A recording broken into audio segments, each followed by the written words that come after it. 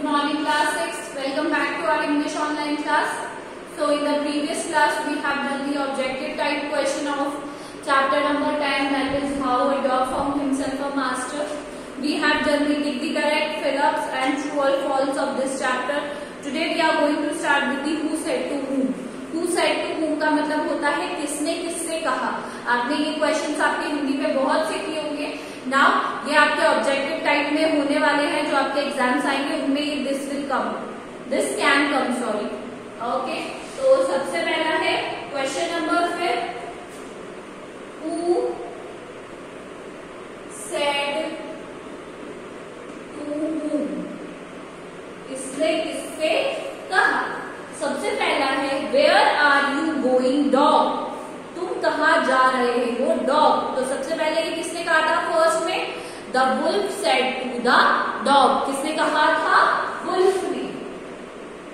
The wolf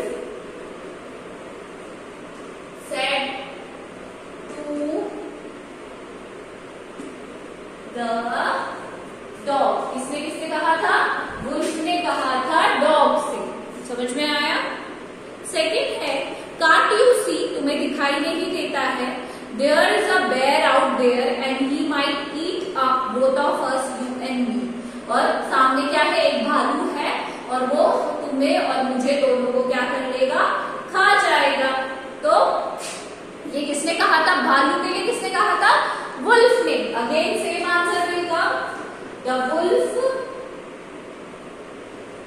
said to the dog wolf ने किससे कहा था डॉग से फाइन चलिए अगला है let us go and find a herd of cows चलो हम ढूंढकर एक गायों का क्या ढूंढते हैं? झुंड ढूंढते हैं।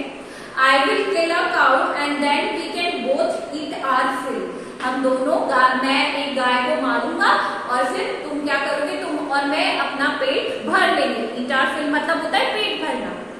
तो ये किसने कहा था? गाय को मारने की अब वुल्फ के लिए तो पॉसिबल नहीं है। तो द बेर सेड टू द डॉग भालू ने कहा था डॉग से द बेर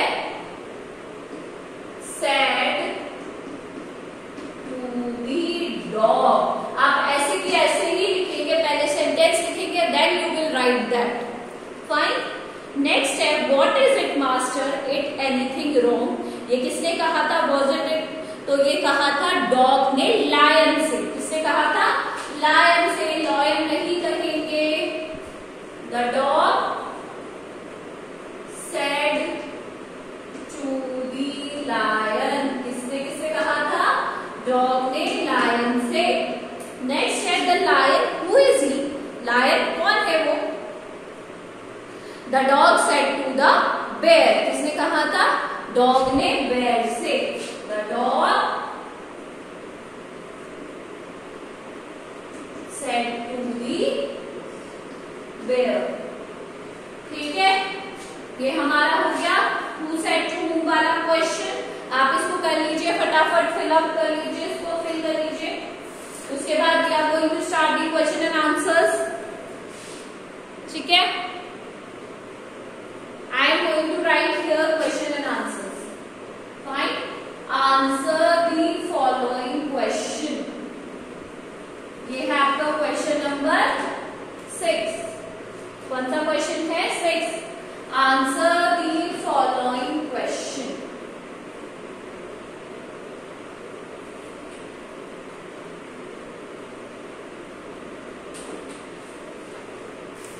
सबसे पहला है how the dogs lived before they choose to find a master dog पहले कैसे रहते थे जब उन्होंने मास्टर नहीं ढूंढा था उससे पहले तो ये है हमारा पेज नंबर 78 फ़र्स्ट पैराग्राफ में आंसर कि the dogs were once their own master and lives the wolf do in freedom कैसे रहते थे? खुद के खुद ही मास्टर थे और फ्रीडम में, जैसे वुल्फ रहते हैं भेड़िए उनकी तरह। तो आंसर नंबर वन है हमारा dogs were once their own masters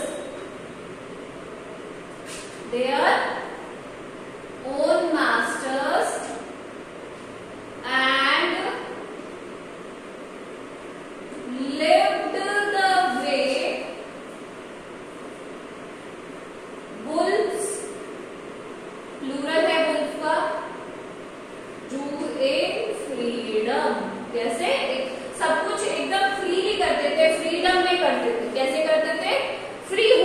एकदम फ्रीडम में कोई भी काम हो, चाहे कुछ भी हो उनको कोई दिक्कत नहीं रहती थी।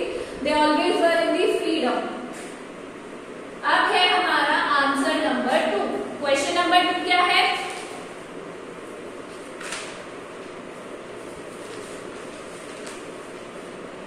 Why did the dog feel the need for a master उसे क्यों ज़रूरत हुई मास्टर की या मालिक की? क्योंकि वो परेशान हो चुका था। वॉन्डरिंग लाइफ है ना? घूमते हुए अपनी जो ज़िंदगी जीना है, उससे क्या हो गया था? बहुत ही ज़्यादा परेशान हो गया था। क्या हो गया था? परेशान हो गया था। तो लिखिए the dog was sick sick?